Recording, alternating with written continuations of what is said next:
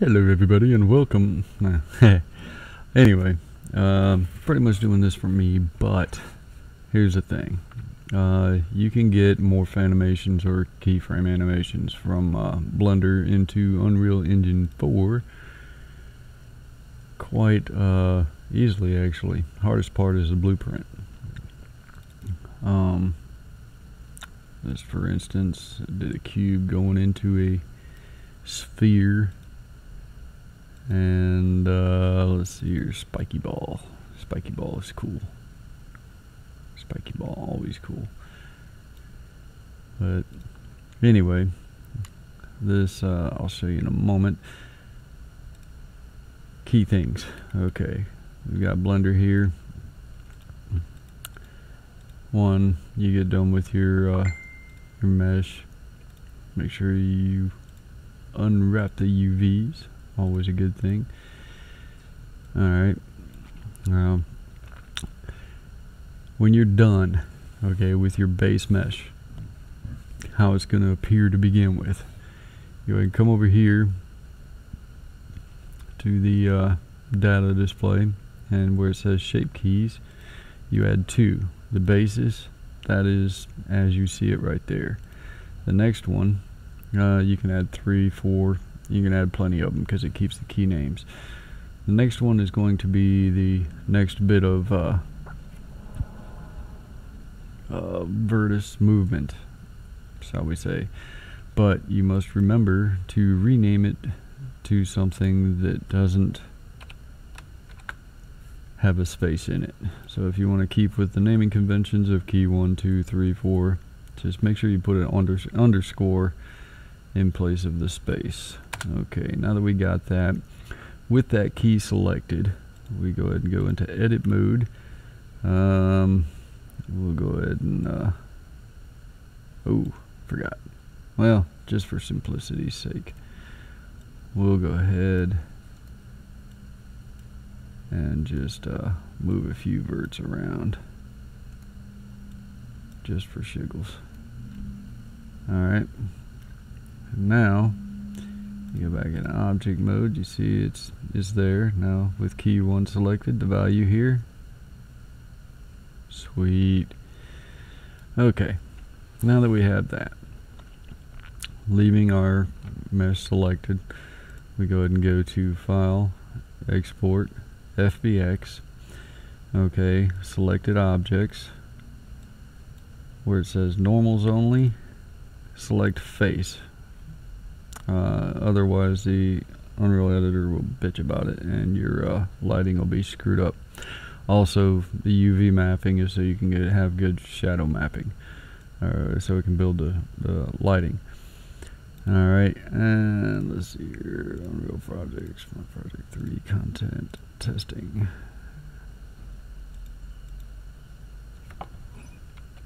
And we will name that Toot Cube.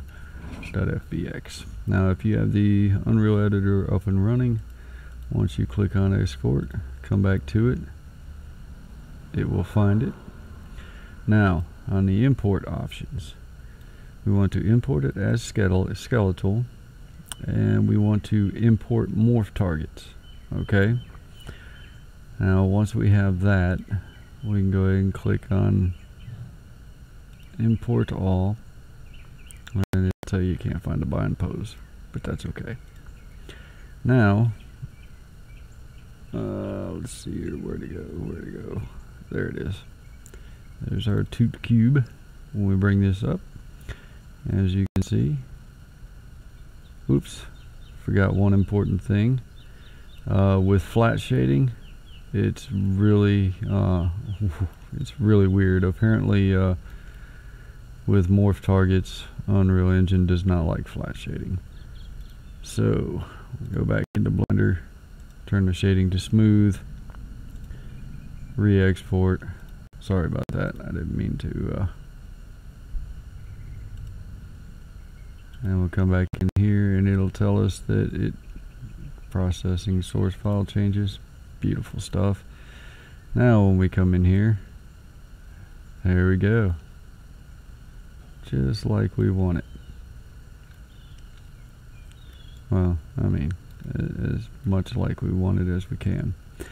Now, in the documentation uh, with 3ds Max users, whenever they uh, bake their morph into it, they only get three, so or uh, two two morphs per static object. Uh, I haven't worked out how to. Uh, well, I got a couple things worked out. Anyway, on to the blueprint. Okay. Now,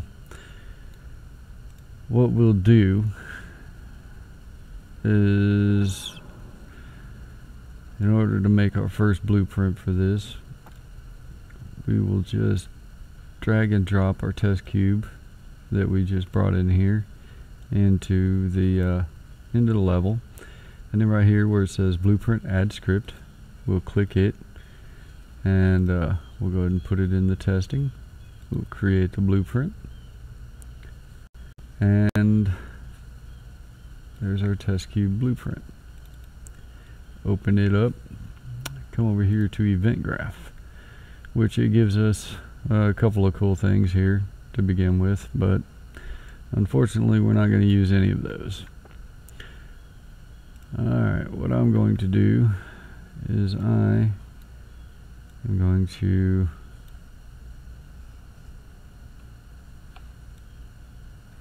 copy and paste a previously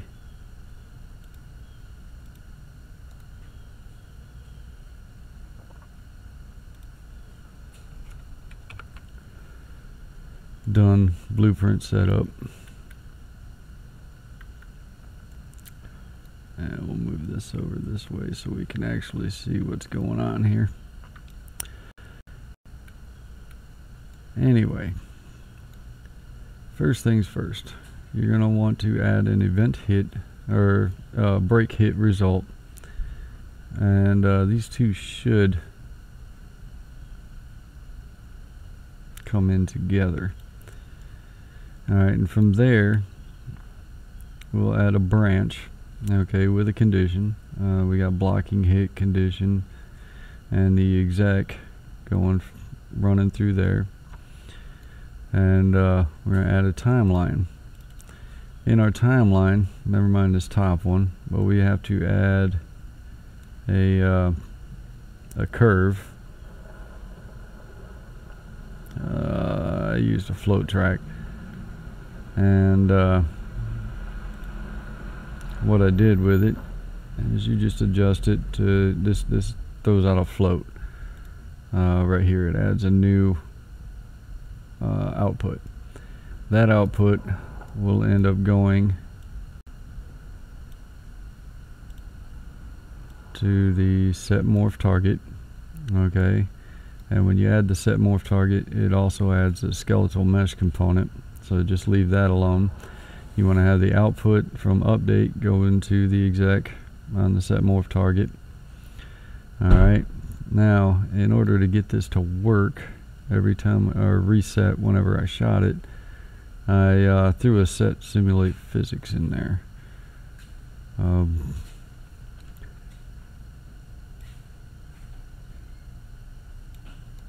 that also adds a skeletal mesh component for the uh, for the target. But it gives us a cool little thing here which doesn't work like I wanted it but it gives us a simulate, simulate boolean um, if you have it on after the first hit after the first animation gets through whenever you shoot the object it will uh,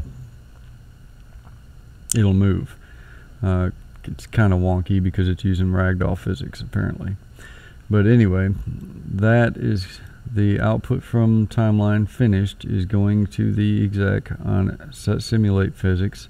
The output from set simulate physics is running back here to set new time. And the new time goes to zero. Um, ah, we'll just leave it alone. We'll go ahead and compile it. Come back to first person map. And uh, I wonder, probably don't need to, that's a spiky ball thing there, but yep, there we go.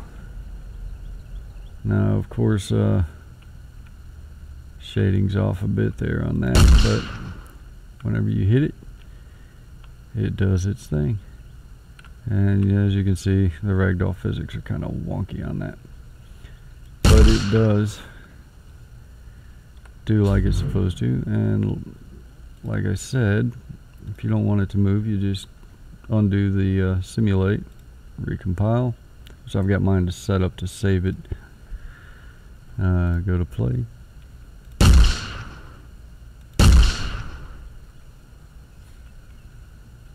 And now, every time you hit it, it moves.